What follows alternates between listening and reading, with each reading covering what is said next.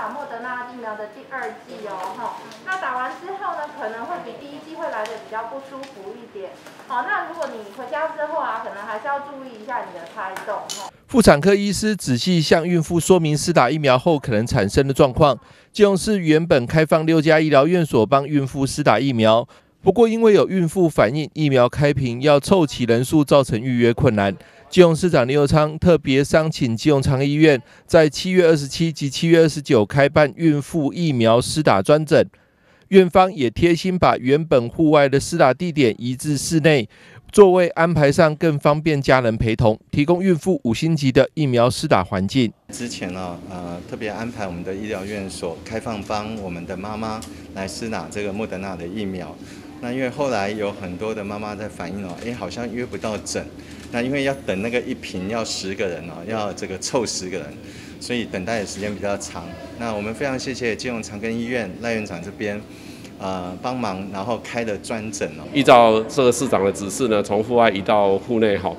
那第二个就是因为孕妇她本身呃可能会有一些家属的陪同，所以我们在座位的安排上也让他们家人能够住在一起。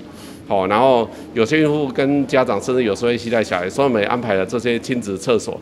那我们希望说，呃，让提供这个基隆的孕妇呢，有一个五星级的环境来注射这些疫苗。我看你应该是第一胎吧，对不对？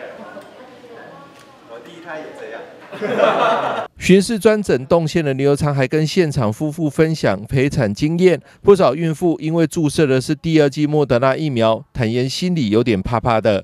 第二季，第二季，那心情怎么样？很紧张，很紧张，为什么？因为感觉副作用很大。啊，那第一季的感觉如何？第一季这时候手举不起来，其他没什么不舒服。对此，妇产科医师呼吁孕妇还是应该适时接种第二剂莫德纳疫苗，才能有效保护自己与宝宝的健康。我们建议孕妇还是要打第二剂，因为基本上孕妇一旦感染到新冠肺炎，她得到重症跟插管，还有使用叶克膜的几率都会比一般平常人还要高。所以如果可以打第二剂，就可以增强那个免疫力，那这样子得到重症的几率会相对低很多。